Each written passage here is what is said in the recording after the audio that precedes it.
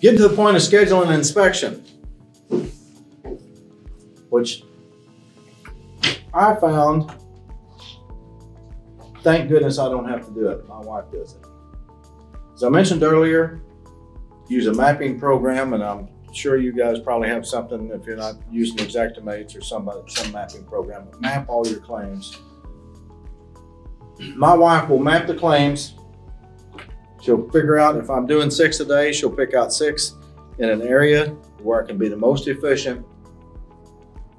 She will contact those people, she will call them, and she will set the appointment. When do we set the appointment? If we get 100 claims in, we're going to map all 100 claims and we're going to set appointments until we run out of people or until we need to hold somebody off to fill out a day. Because once you get them mapped and called and scheduled, they will quit calling you saying when you coming. So your phone stops ringing. Even if you're in Jersey, we did this 10, 15 days out.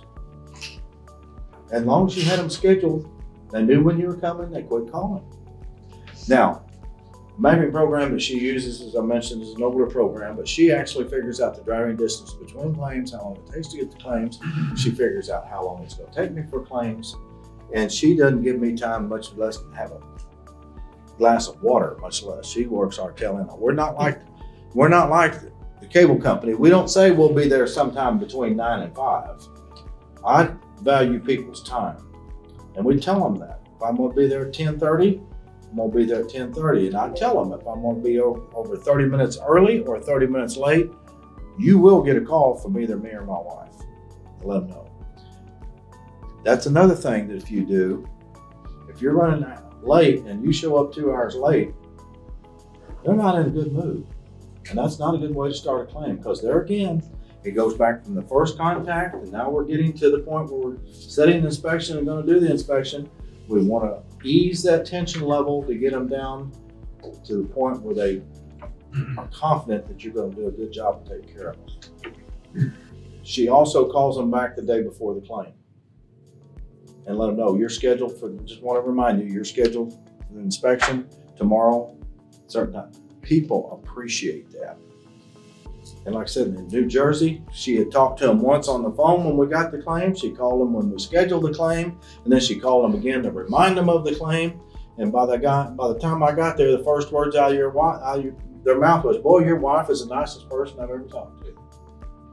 She did more to level to get the tension level down than I ever could, and that helps get the claim off to a good start. I like to start from the hotel to the farthest I'm going away and work my way back because usually traffic is easy, better in the morning than it is in the afternoon. And we start, I get up at 4.30, I finish my preliminary reports, I take a shower, get cleaned up. I'm in waiting for them to set breakfast out at six o'clock if they're serving at six o'clock. As soon as we get done eating, we're loaded up and we're gone. I find that I have more time to drive going out in the morning than coming back. So, and plus, as we'll get into here in a minute. The evenings after the day of inspection is probably the most trying time of the day, to be honest with you. One thing you have to remember about scheduling and working is it's a marathon, it's not a sprint. If you're working by yourself, or if you've got one helper and you're just now starting to get into flood and you're still feeling your way through it, even after you go through Justin's product training, I would recommend him scheduling three, no more than four inspections the first day. Because it's going to take you a lot longer because one, you're going to be thorough and it, it's just going to take you a while to get your system down to where you can do it fast enough. So I was talking earlier, there's guys that go out there and they brag about, I did eight. Well, I did 10 inspections. They're not doing inspections. They're just going out taking photos and doing a very poor job. And they're going to write a poor estimate. You're going to have a buyer and have a camper. I'll share this with you. Each day when I get ready to go out and do my inspections, Cheryl will hand me, here are your claims for today. They're in files, they're in folders, they're stacked up. There's a master list of the addresses on top. There's a map printed off of my complete route in case There's road closures, and I can look on a piece of paper and know which way to go. And that is worth a ton having that done. I think it's probably the most important thing there is, and I think the first 20 to 30 minutes of the inspection is the most important time you're going to spend with these people. Be professional, but be polite. First thing I do is I show my flood certification card. I carry it around my neck. I show it to them. I pull out my driver's license. I show them my photo ID. Why? Because by that time, they're already getting stories of people having fake IDs and robbing people, and you'll hear some more stories. That's another thing once they find out who I am, that I'm actually, makes them feel a little bit better. They're going, everybody's going to have a story, and they want to show you. They want to whip out that phone and start showing you photos of how they've stood in the balcony and watched water come in their house. One guy told me, you know, about in Houston about how the National Guard helicopter dropped the basket down and they got in it, pulled them out. Another guy told me in West Virginia how he knocked a hole in the ceiling and stood on the refrigerator to get out of the water. So you hear some, but they it don't matter what it is, they want to tell you their story. It's about them. Now FEMA in one of their presentations talked about something I, I found was interesting. They said that a doctor that spends three minutes more with a patient has 50% less lawsuits. Even if they're doing the same thing and the same quality of doctor. That extra three minutes, people want to be heard, people want to have your undivided attention, they want to be able to ask you questions. So when I go into a, the inspection, on average, I'm going to spend between 20 and 40 minutes with that insured before I take a photo, before I do anything. The first several minutes, I'm going to listen to them. And then I'm going to go into what we call our spiel that we do in each claim. Now, while I'm doing that, I mentioned about a team approach. I want to talk about it this time. When I we go up and introduce ourselves, after we introduce ourselves, Chad and Aaron would go outside and they'd start getting their outside measurements, outside photos, getting all the things that they need outside. Then they would come inside. Chad's job was he drew the interior sketch. Aaron's job was he got the camera and he went and took a photo and wrote down the serial number of every appliance, water heater, furnace, everything on an appliance sheet that we had. I never want to look at a photo to get a serial number. I want it on a piece of paper. If I'm writing an estimate or if I have my estimate writer on the paper, he appreciates that. So in this case, that's what I had the young man doing. Now, while they were doing the sketch and doing this, I was spending my time with the insured, which I'll get back to. After I got done with my 30 or 40 minutes with the insured, I went outside.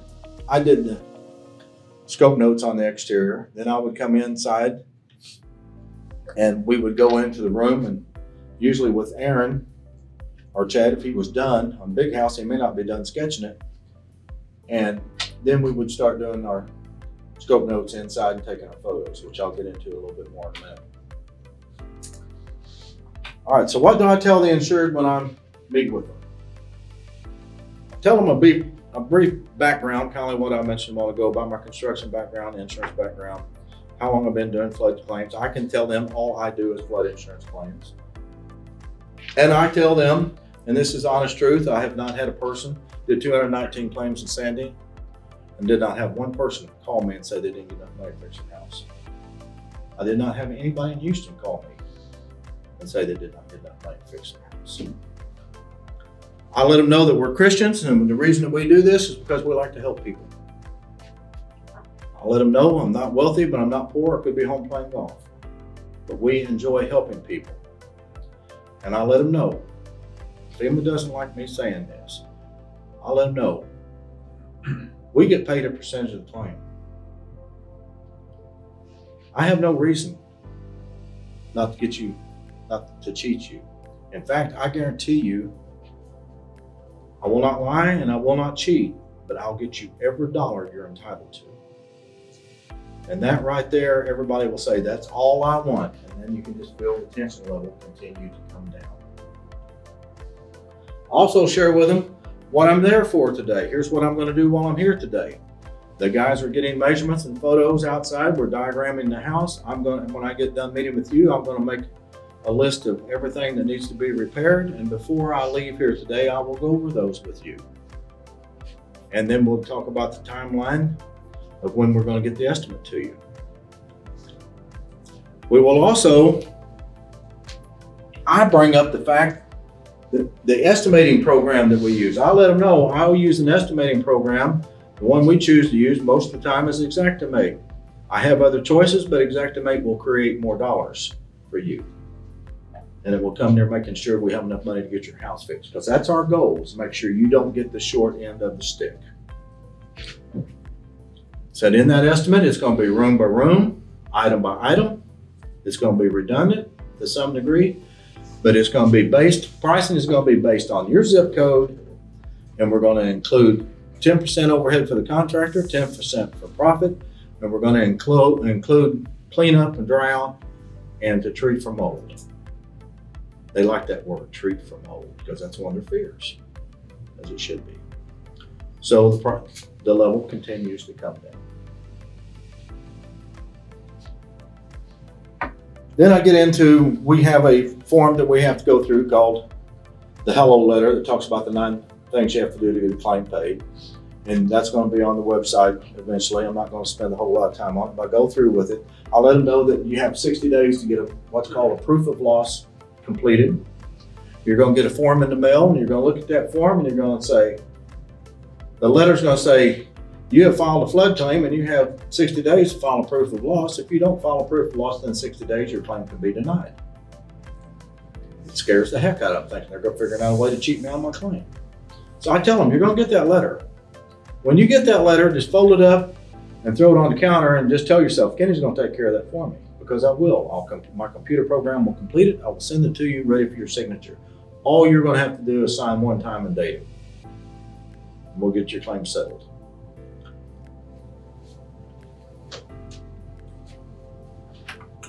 Also complete what we call the flood survey, field, flood field survey. And I tell them that that is basically information I need to fill out my report, which it is. It will go through it, very systematic, and it will ask them what time the water got in the house, how long water stayed in the house. It will ask them there, uh, once again about the mortgagee. It will ask them whose name is the deed in. Now, this is one reason why I verify when I call them the first time about the name on the policy of the name of the insured. I had a claim one time, it was Louisiana, and I'm doing the claim and I'm getting it done. I said, okay, this, this, this, this, this, this. I said, I want to verify it. I got the policy name in the name of Joe and Jill, whatever it was. I am telling you, that little woman come off the ground about that high. That's his ex-wife, and what's her name doing on the policy? I should have asked the question in the first contact interview before I got to their inspection. I could have nipped in the bud. So verify the name on the policy and do you own the property?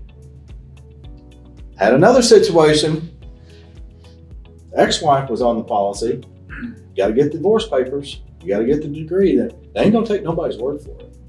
Same with mortgagee. If the mortgagee is incorrect, you have to get the documentation showing that the mortgagee's been claimed, been changed.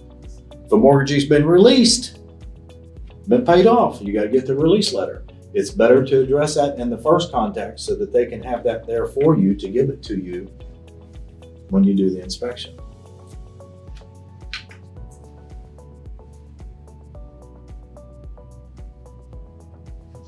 One thing I'm not going to talk much about, a large number of claims that we do each year. It's their second, third, fourth, fifth time they've been flooded. That's why the flood program's losing so much money, to be honest with you. About 40% of what they pay out is on repetitive claims. And they can't cancel them. They can't surcharge them because Congress won't let them. I talked to him more toward the end about contents. I like to save that toward the end, a little bit toward my spiel, and cover that in detail. I ask them, I let them know that contents has to be done room by room, item by item. Now we can bunch items together like 16 pairs of women's tennis shoes. Put an average price, average cost, and I tell them, put the replacement cost. What would it go cost to buy them today at normal prices, not on the Labor Day special, but at normal prices. And I will add sales tax into it because I have to depreciate those items.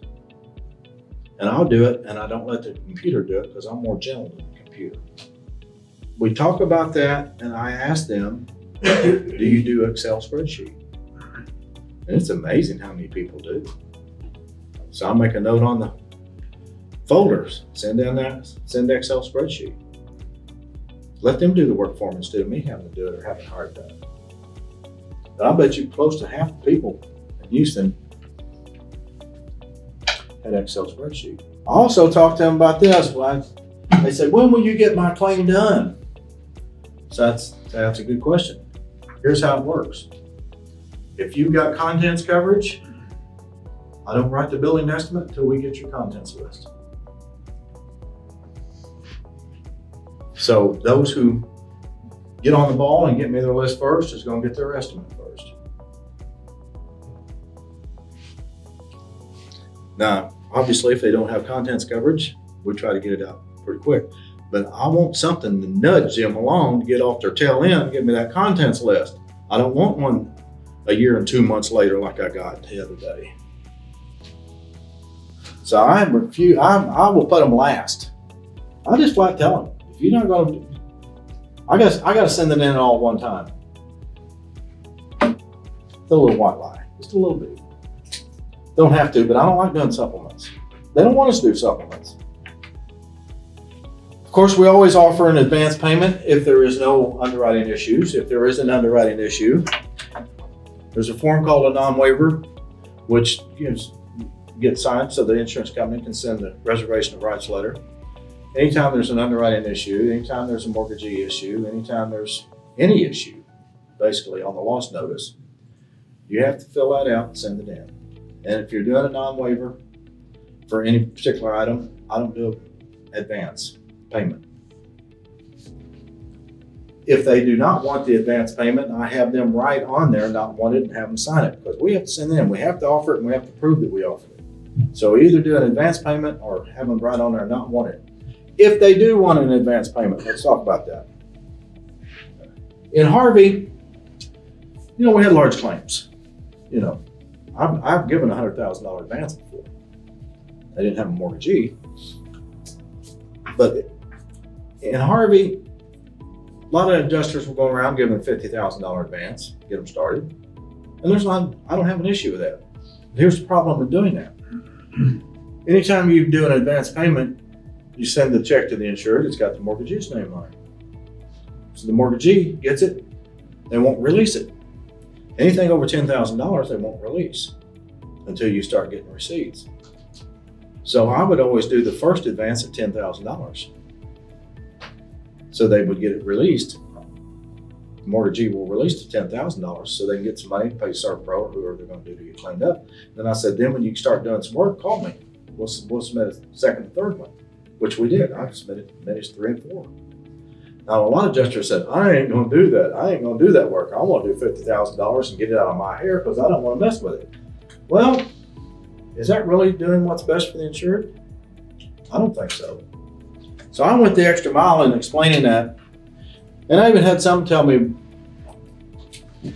that I'm glad you only give me 10,000. My neighbor got 50 and he couldn't cash his. He couldn't get any money from they they released mine. Now let's talk about the inspection. First number, first photo you're going to take is claim number. Why? Because when you average claim is between 150 and about between 100 and 150 photos per claim.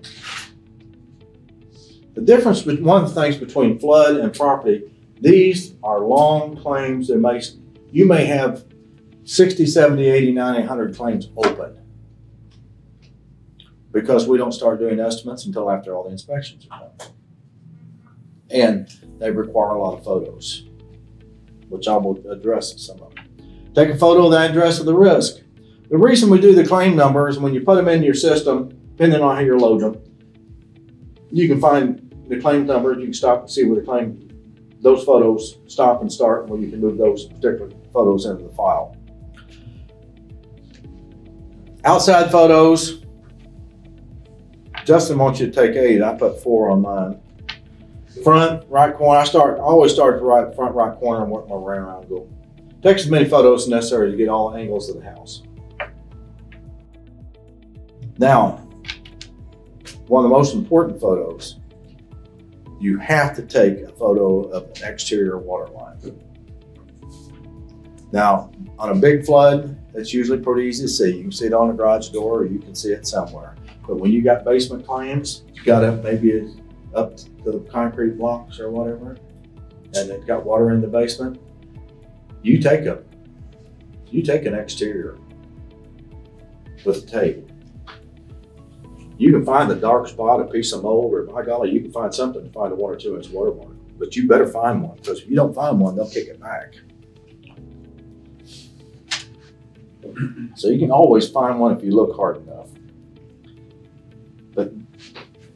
That's why I carry a small 12 foot tape with me. Everything's done on tape.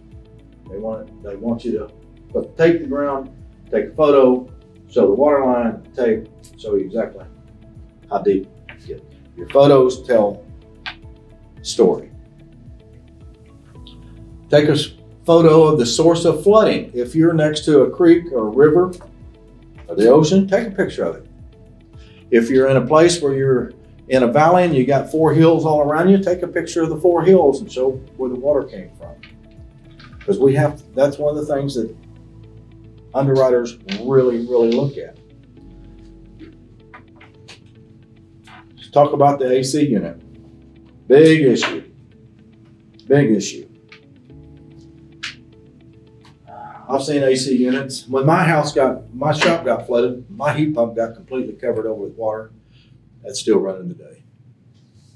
I flipped the electric off so it didn't burn the panel out of it, let it dry out, and it's still running.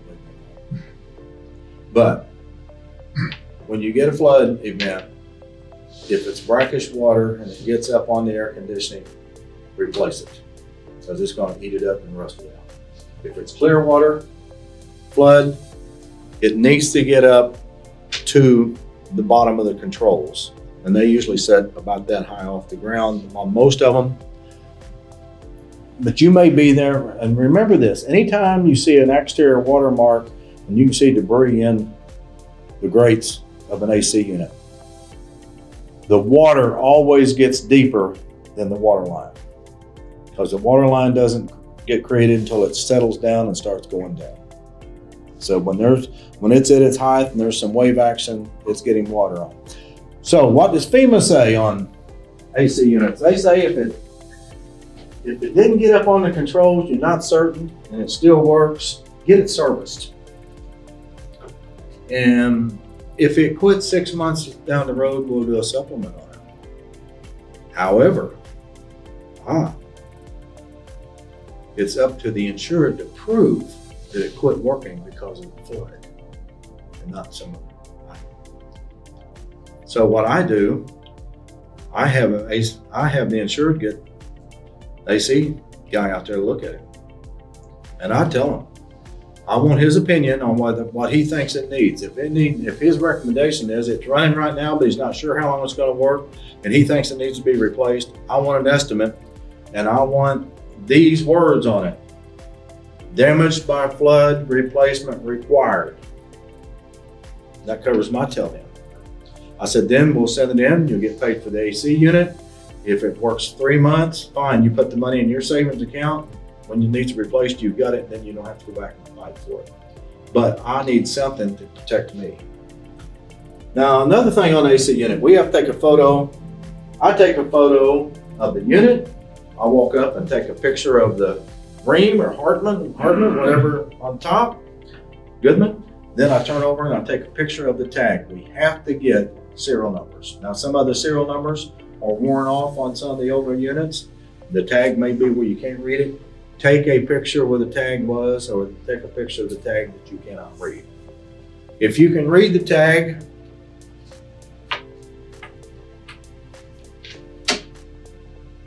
something I want to share with you, and you may already know this. There's nothing worse than putting down for replacement of a three ton AC unit and it's a four ton unit or a four ton, it's a five ton. Because the AC guy's going to catch it, he's going to tell the insured, and it's going to make you look bad. So, how do you tell how many tonnage an AC unit is? On the sixth or seventh level, le- sixth or seventh, eighth letter on the model number, it's going to be 36, 42, 48, 60. Whatever that number is, divide it by 12. And that's how many tons that unit is. So if it says 60, it's a five ton unit. If it says 48, it's a four ton unit. So that makes you, and of course, it affects the pricing when you're pricing them out. And it makes you look more professional because you're not doing something that is going to get caught, and it does get caught quite often, and it makes you look bad. After you get done getting your outside photos and getting the information on the AC unit, walk around the unit, the building again, because the foundation is covered. The foundation is covered, and if you see cracks in it or see cracks in a brick, take photos of it because you're going. They're going to see. There's going to be some shifting. If they've got the carpet off the floor and it's got a concrete slab floor, you also want to get photos of that. The reason for that is, does it warrant getting a hiring a structural engineer? So those are your photos that you send with a request for structural engineer. Now the insurance company will pay for the structural engineer. Pay him well, about twenty-two hundred dollars. And he will come out and he will do his thing and he will tell you if it's covered, if it's caused by hydrostatic pressure or whether it's caused by settlement. Settlement is not covered, hydrostatic pressure is. Most of the time on concrete slab, they're not going to cover it, but it's not our job to make that determination. We don't have the degree. And so if it's marginal, then FEMA wants you to use professionals. They want you to request a structural engineer. And they write a really good report. Now, I usually don't wait on their report because sometimes it may take five or six weeks, depending on how busy they are. That might be one of the few reasons I write a supplement. And most, most of the time, though, I can I can tell if it's hydrostatic pressure. If it's a basement and the basement walls are pushed in on the side and it's got concrete blocks and they're making a shape like this and you stick your finger in it, that's probably going to be hydrostatic pressure. If it's stair step cracked, it's probably settlement.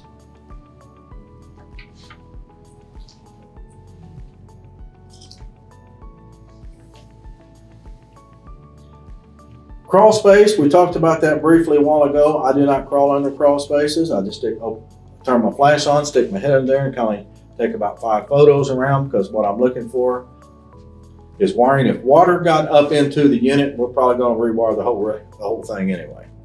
So I'm not worried about any feeder lines coming in, but I want to see ductwork. I want to see if it's got floor insulation and I want to see what type of subfloor because there is nothing worse than you replacing the subfloor with I've seen it, half inch plywood, then you look at it and it's one by six plank or one by 12 plank or OSB or one of the other. And while I'm thinking about that, if you got a situation where you got a subfloor replacement, and I will tell you nine out of 10 people will not replace the subfloor, but they get paid for it. They hardly ever replace it. If you've got a crawl space with ductwork in the floor in the crawl space, when you go into the house, make sure you pull a diffuser, pull the metal over, take a photo and see if it's got underlayment. Because more than likely, depending on when the house was built, It's gonna have half inch plywood and half inch underlayment or three quarter plywood and three quarter overlayment, underlayment. And take a photo of it and document it because we can pay for both of them. But don't send it in without a photo because they'll question you. That generates a lot of dollars for the insurance. All right, I'm gonna move on to the interior inspection. I used the Sketchit clipboard. This will be in, in your packet for the exterior.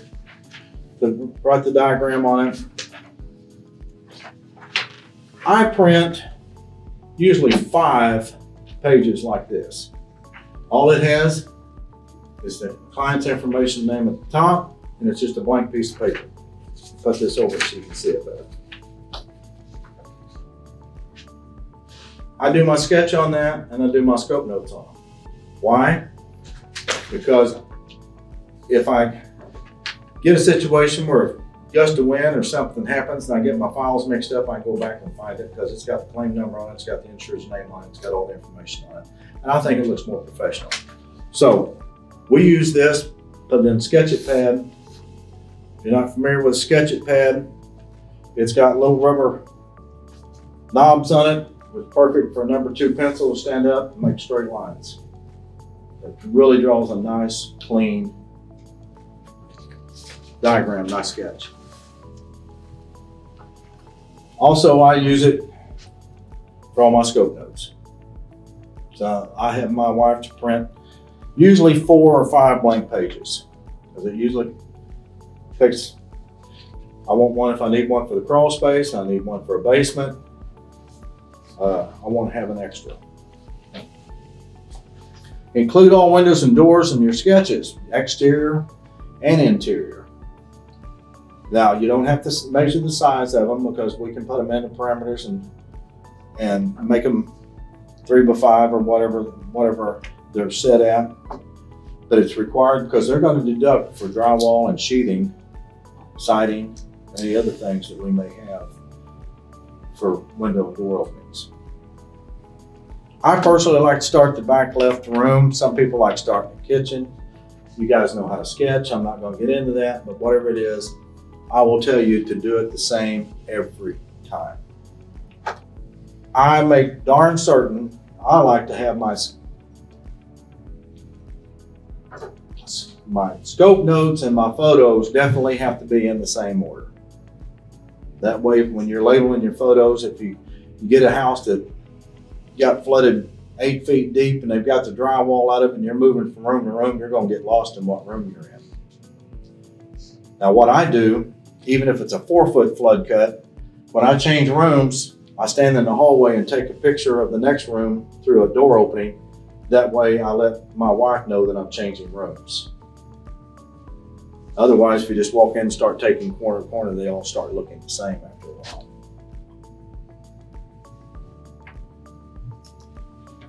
When I take photos, obviously I just stand in one corner, take, take a photo and just work my way around. They want long-term photos. Get four in each room, take a picture of the floor. I go take the first room, I go take a picture of the baseboard. I take a picture of the door. I take a picture of the window trim. I walk over and get at an angle and take a picture of the drywall. Does that sound stupid? I'll tell you why. A claim in New Orleans and I got a kick back. Kenny, I can't tell from your photos that there's texture on that wall. I had it on my note on my notes, eggshell finish. Claims examiner kicked it back because she could not see from my photo that there was texture on the wall. She had a little talking, got a talking to from her supervisor. That was the last time I got that. So now I don't argue with them. I just go and take a photo. of it. slick finish or whatever, I just take a photo of it. Paint the picture. I mentioned earlier, if it's got carpeting, I'll usually pull it back. I'll take a picture of the carpeting, pull it back, take a picture of the pad. Or if it's, the carpet's been removed, I take a picture of the tack strip to show that there was carpeting in there. Uh, I go to a closet. If it got if it got the drywall flooded and we're going to replace the wall, the drywall, I go into the first closet and I kick me a hole in that exterior wall with my heel. Why? Because I had a claim kicked out one time. Kenny, you didn't take a photo of exterior insulation. Can you verify that there's exterior insulation in this? I said, it's in Minnesota. What do you think?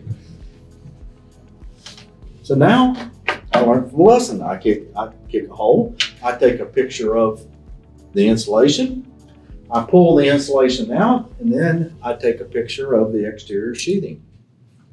Why? Because they will allow us to replace some exterior sheathing now and some they won't. So I have to verify what type of sheathing it is. If it's Celotex black board, if it's a gypsum board that's water resistant, if it's OSB, they will let us replace it. If it's plywood, they will not. They said it will dry out. A lot of dollars. And if it's got brick on it, we have to replace it from the inside, and that is cha-ching right there. Three dollars and sixty-five cents a square foot or something other. Some It's thirteen, fifteen dollars a square. foot. it's it's uh, it's it, it's money. Now if it's got if it's got vinyl siding on it, you remove the vinyl siding, you replace the sheathing. If it's got wood siding on it, you replace the wood siding, you replace the sheathing, you replace the wood siding, then you paint it. So the little things like that can add up a lot of dollars difference in the claim, and a lot of adjusters will not do that. I take a picture of the receptacles with a tape on it to show whether or not they need replaced or whether they just need reset. If they're just replacing the drywall and didn't get the receptacles, it still adds up six, seven, four, five receptacles plus plus the switches, because when you gotta take the switches out, because if you replace a four foot of drywall, you're gonna have float marks in it. It's gonna get in the switch. So that I take a picture of the height of the switch to prove that float marks are gonna get in it. Why? Because I've had that kicked back before by claims of. But the little detail things like that make a difference. And when you get a contractor coming and looking at the estimate that you have written, he's gonna sit there and he's gonna look at it and he's gonna go, wow, this guy's pretty thorough. Or he's gonna say, this guy left half everything off. Is it gonna make you look good or look bad? It's not gonna be, somebody's gonna see your estimate. So be thorough. I take a picture of go ahead. Does the water have to reach the outlet in order to replace the outlets or can wicking? You know, I, I if it gets to the bottom of the box or close to the bottom of the box, I'm going to replace it.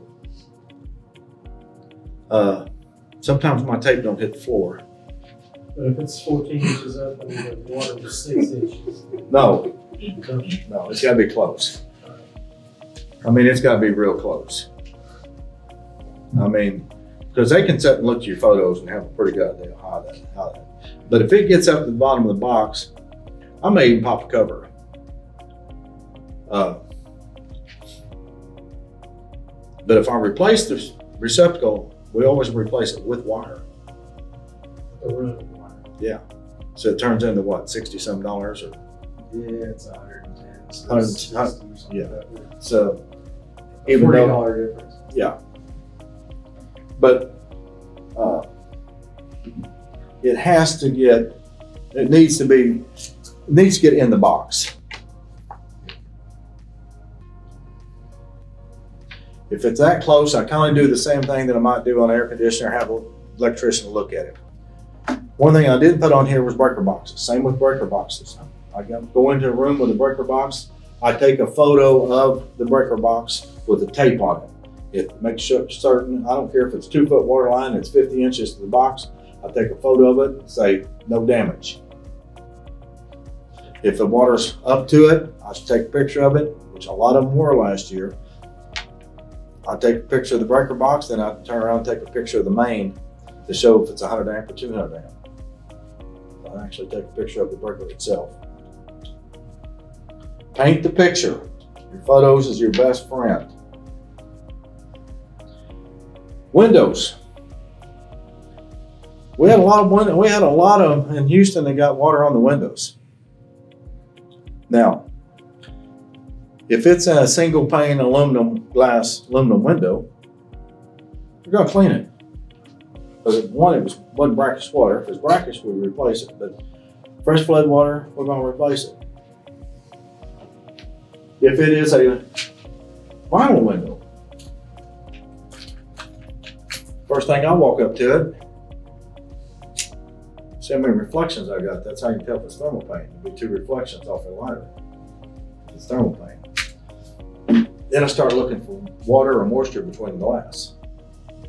If there's water or moisture between the glass on any of the windows that I find, I'm gonna take a photo of it and I'm gonna replace all the windows. Uh, same with patio door. Now, if they're wood windows and they get wet, replace. No question. If they're vinyl clad over wood, Andersens or Pellas, I'm gonna replace. If they're Andersen or Pella windows, I'm gonna take a picture of the window and I'm gonna take a picture of that Andersen tag. Let them know they're high quality.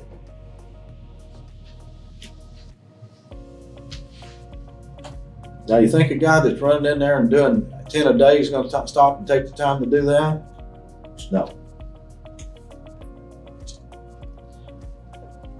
As I mentioned earlier, I did a claim that I stayed underwater for a long period of time and had mold hanging on the roof, on ceilings. Take photos. You'll go into some houses. Believe it or not, if a house is underwater for three or four days in some of these southern areas, the ceiling fans off will be just drooping. If it is, take a photo of it. Because it, we can get that covered if it's caused by flood. If they could not get in to mitigate mitigate the loss and get it cleaned up and dried out. If they were if they were, it was not accessible, anything that damage that it's caused because of that, the flood will cover it. If they do it just because they decide to go on vacation and deal with it later and locked it up, they will not deal with it.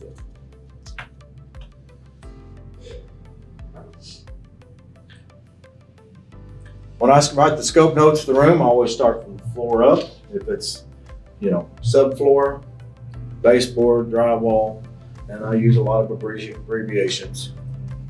And uh, the only one that I haven't had difficult with, that I had difficult work with was EBBH, electric baseboard heat. they didn't, I didn't get that one. Bathrooms. Do the same thing as you do basically I started in a bedroom, except take a picture of the vanity, measure the vanity, do not guess. What type of top is on it? If it's a vanity, it's going to be replaced. we got water on it. However, if it's got a imitation marble top, the top will slap off, go right back on the new one. We will remove and reinstall that top as well as the faucets. We will not replace it. If it's got an older Formica top on it that might have been built in place back in the days when they put the plywood on it, and built it, and routed it off, that cannot be saved. Take a photo of it. Same with shower or tub. If you have a tub,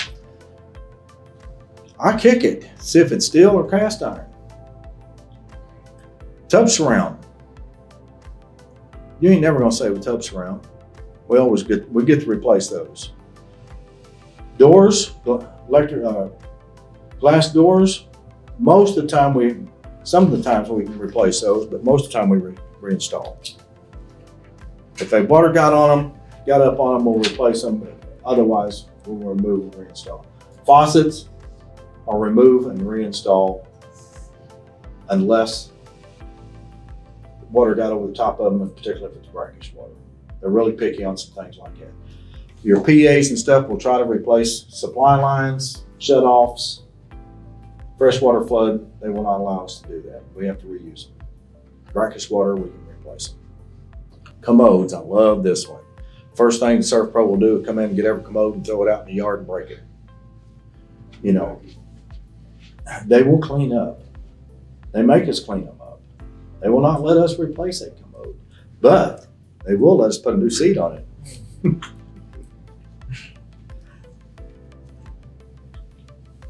I'm getting into some things that you're going to get into in some um, in training, but I wanted to touch on some of these these items. Kitchens. Base cabinets were replaced upper cabinets are not replaced unless they're wet. As FEMA so eloquently said in one of the meetings, we don't care if they match. If it's a tall cabinet, they will not make you cut it in half, they'll let you replace it. So if it's pantry or tall cabinet. Countertops. Oh, have we had fun with countertops the last few years. If it's a if, if it's a low water flood, water did not get on the countertops and it's a Formica countertop, it's a preformed roll top countertop that's just screwed on from the bottom, that makers reinstall, remove and reinstall. If it's built in place, replace. If it's ceramic tile, obviously that cannot be saved, replace. If it is a granite, which we have a lot of these. If it's a granite top or quartz, but primarily granite, it's what we run into in Houston. Get a photo of it, measure the thickness of it. Tell the insured, when they take this top off, I want somebody standing here with a camera. And the minute that sucker snaps, I want a photo. If it breaks while they're taking it off, we will replace it. Otherwise, it has to be reinstalled. Unless they did let it do some, I didn't have, um, if water gets over it, they'll let you replace it. But we didn't have any of those in Houston. I don't think that got over the countertop. But we had a ton of them that broke. So a lot of times we'd have an estimate ready to write and I'd wait a week until I found out with the countertop, happened to countertop, I'd call them, what happened to your countertop? The breaker, did you get it off? Because I wanted to know, because I didn't want to do a supplement. Appliances, as I mentioned earlier, we have to have a photo of every appliance. And so I mentioned I take a photo of the refrigerator, the tag, open the door, and get the serial number and model number.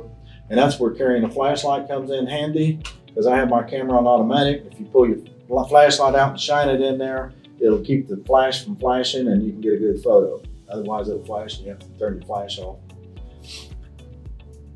Now, uh, that's always fun, particularly in Louisiana. Everybody's got 10 pounds of shrimp in their refrigerator, and they ain't cleaned it out, trust me.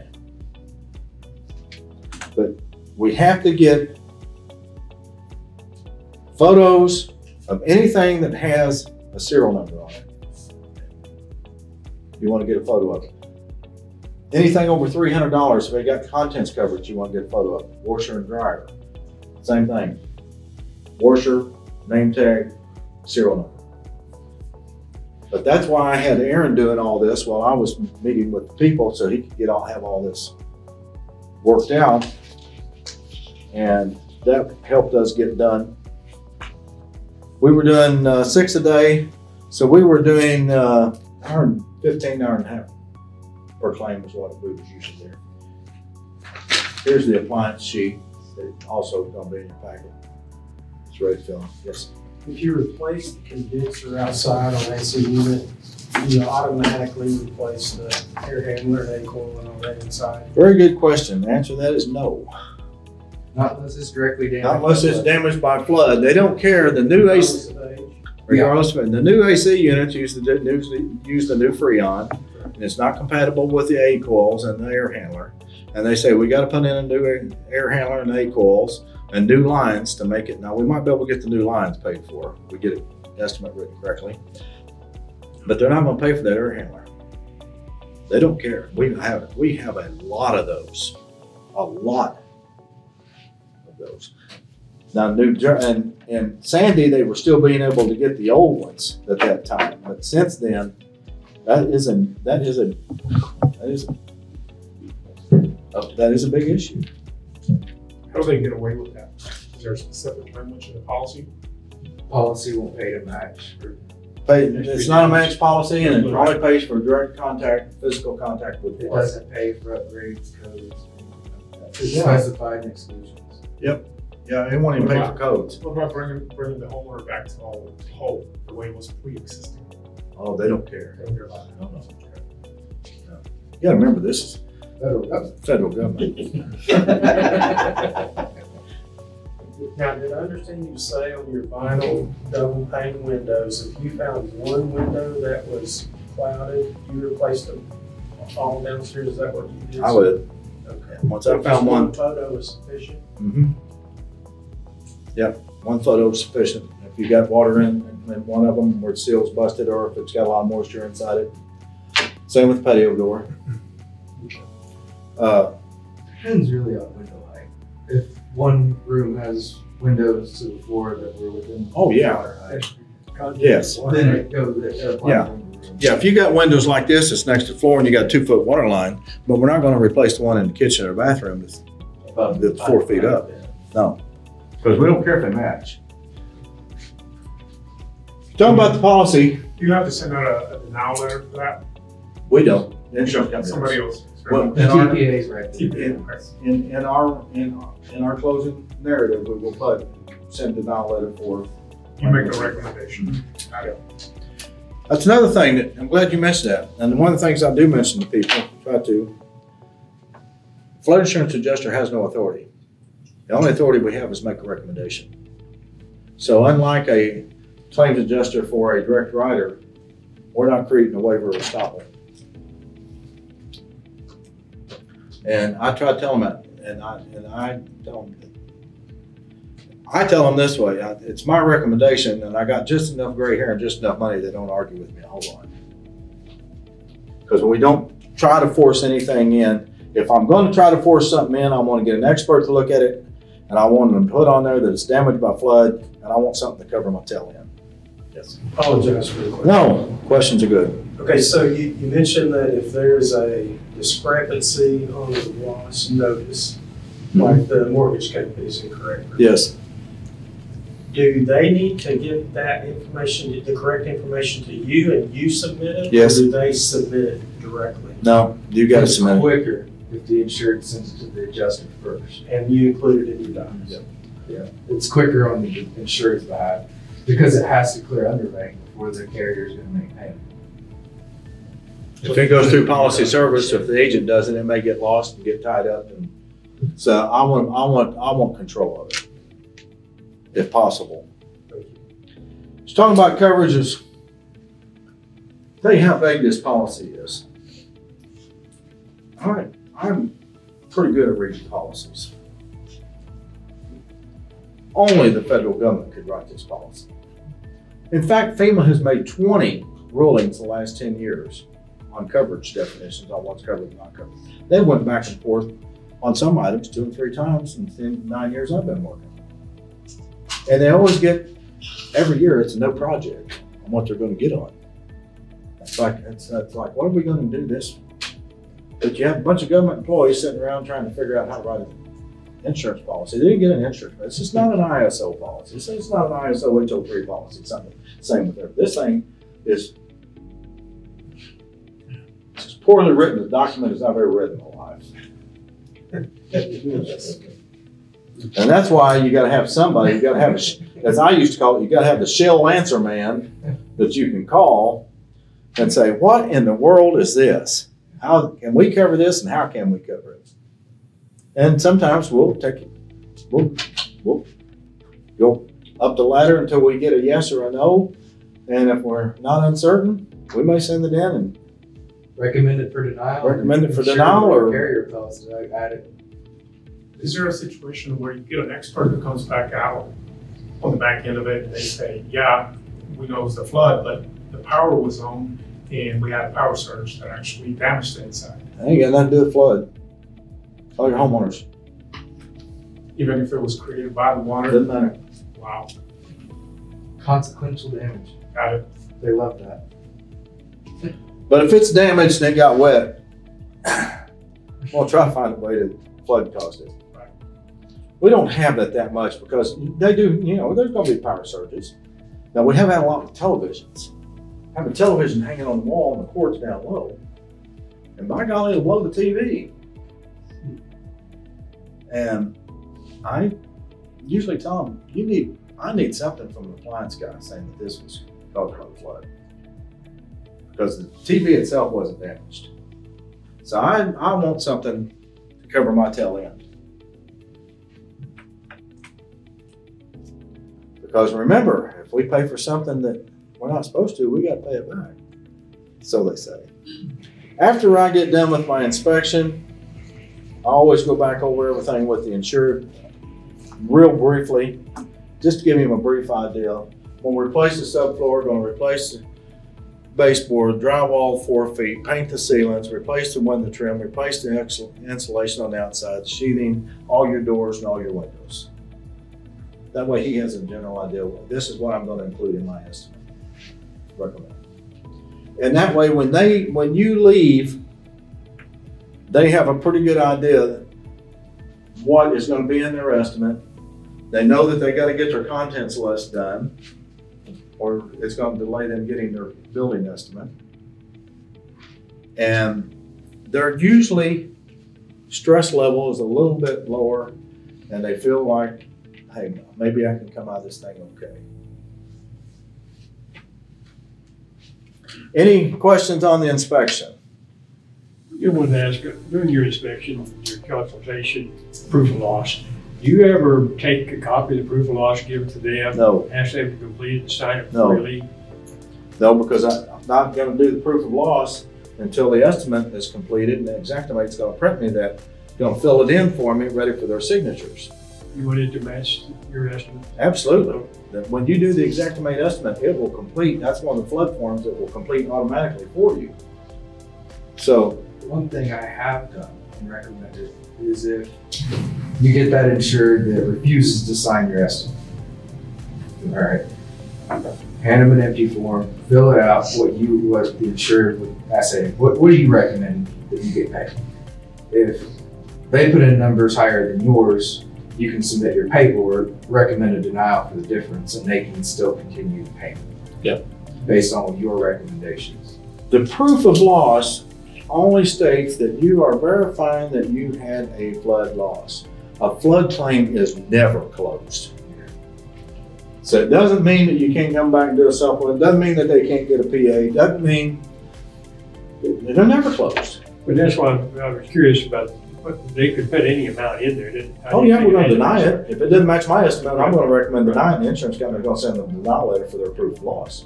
But since they have submitted proof of loss that they had a flood, then that allows the insurance company to go ahead and pay off my estimate. And then let them appeal or go for the difference. Yes. Can you discuss life and kind, like kind and quality? Please. So basically, light kind of qualities just determined on the house. Uh, if it's a high grade home, high quality home, you'd want to document that it's a hardwood. Uh, cabinets, you want to document the, the style of the cabinets. Are they butterfly? Are they hardwood? Are they particle board? What's the, the grade? At that point, you can include the, the certain grade in your estimate based on your documentation. You need to verify it though, particularly, we have adjusters, particularly these eight, these eight claim wonders that go around all day. They'll write an estimate and they'll put the absolute, the highest grade of everything that they can in it because they don't put half the stuff in it, thinking that I'm just gonna send it up and see if it goes through. Well, you know, I'll give you an example. When I, when I started, they wanted things, when we did Simcoe, they wanted it generic. They wanted baseboard, okay? And in Sandy, they wanted baseboard, interior doors.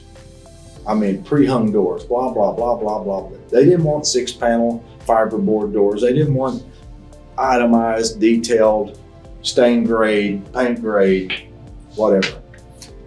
Maybe. Then, now they do. Now, if it's a, if it's a six inch mahogany baseboard, you take a photo of it and you put down six inch mahogany baseboard, stain grade. So you try to match it up and you get it as detailed as you possibly can. That's one major difference between writing estimates today and, and then four or five, four or five years ago.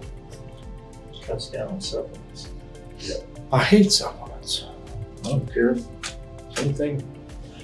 Uh, any other questions? Let's take about ten minutes, then we're gonna finish.